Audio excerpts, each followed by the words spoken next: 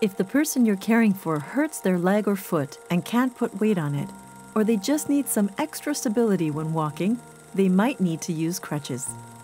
You might be wondering how they should be using their crutches and how to keep them safe. In this video, we'll show you how to use crutches so you can support the person you're caring for.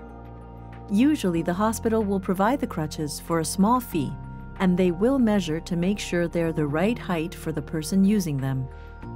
Using old crutches you have at home will only work if they can be adjusted to the correct height. Crutches should sit 2 to 3 finger widths below their armpits and the hand grips should be level with their hips. The most common thing that people do incorrectly is resting their weight on their armpits. This can cause pressure wounds, blisters, and nerve damage. Their weight should be resting on their hands instead. To walk with crutches, the person you're caring for should start by putting the crutches out in front of them, no further than their regular stride or how far they would normally step. Next, they should transfer their weight onto their hands and swing their strong leg forward, keeping their weight off of their weak or injured side. Let's look at that again slower. Crutches forward, weight on their hands, swing their strong leg forward, that's it. Using crutches on flat walking surfaces is pretty straightforward, but what about if they have to go up or down the stairs? To go up the stairs, they'll have to hold the handrail and put both crutches under their opposite arm. To step up, they should put their weight on the handrail and crutches, then lift their strong leg up onto the step, keeping their weak leg off of the floor completely.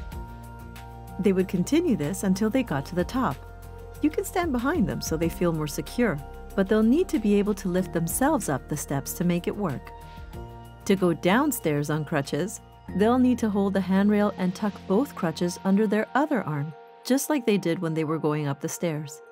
Next, have them hold their injured leg out in front of themselves, put the crutches on the step below, and using their crutches and the handrail for support, step down to the next step on their strong leg.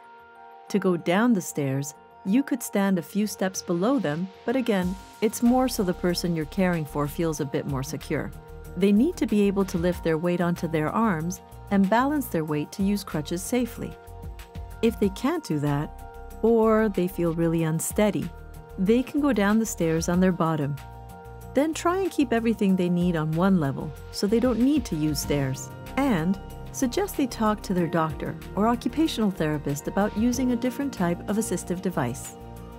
Learning to use crutches, especially on the stairs, can be challenging, and the person you're caring for will need your support and guidance. Following the steps in this video, you'll help them be successful in no time. For more videos like this, visit Care Channel, your source for caregiver knowledge and skills.